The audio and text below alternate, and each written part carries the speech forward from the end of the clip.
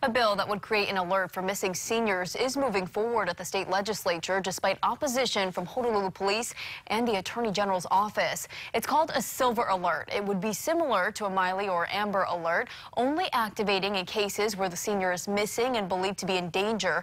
That includes if they have an urgent medical condition or suffer from Alzheimer's or dementia.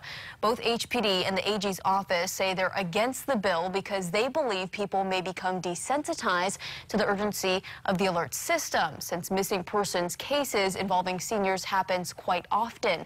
Last year, one 112 seniors went missing on Oahu. Only one person was never found. That's Milton Ishii. He went missing right before Thanksgiving. His family is in full support of the bill.